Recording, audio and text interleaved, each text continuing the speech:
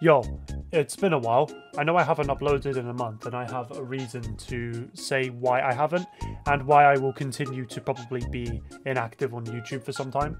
Simple reason being, this month and next month is going to be quite eventful for me. For example, I've just got my last weeks of school left, so I'm going to focus on that a little bit more.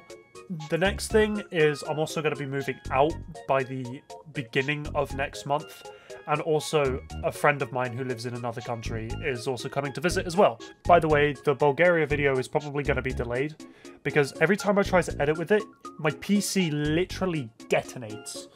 I'm trying to find a way to continue editing the video and then post it on YouTube.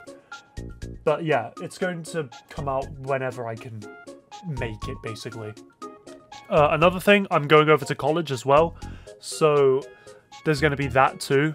Basically, I'm going to be very busy this month and next month, but I'm going to try and still make videos regardless. So that was basically why I've been inactive for so long, but don't worry, I'm not dead.